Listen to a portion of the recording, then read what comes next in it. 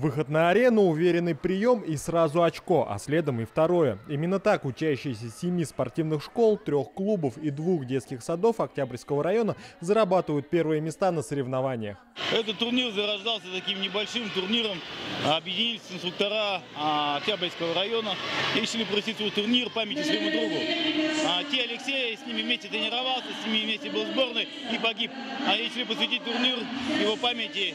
И он зарождался в школьных спортзалах, а в конечном итоге вырос вот в такое большое мероприятие. Первенство по тэквондо было организовано специально для обкатки новичков. Для них это и опыт, и возможность проявить себя. Более 250 спортсменов участвует от самых маленьких 5 лет до старших. Несколько видов программ. Это у нас программы палки, командный туль, спарринг и тектим.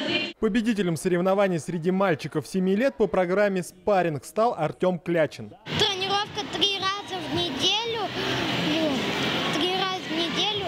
Ну, чтобы быть таким гибким, надо, надо, надо очень крепко работать. Артем занимается тэквондо уже два года, а решение отдать мальчика в спортивную школу приняли родители. В первую очередь это из-за тренерского состава.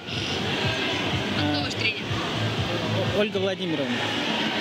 На- У супруги она была в свое время преподавателем физкультуры, и зная об этом, зная ее труд и усердие к работе, именно к ней решили отдать ребенка, чтобы он занимал вот такие призовые места. Эти соревнования закаляют характер, учат взаимовыручке, поддержке, воспитывают командный дух и дают возможность почувствовать вкус победы. Отметим, что спонсорами турнира выступили депутаты Горсовета Геннадий Бадмаев, Денис Гармаев, Дмитрий Путилин.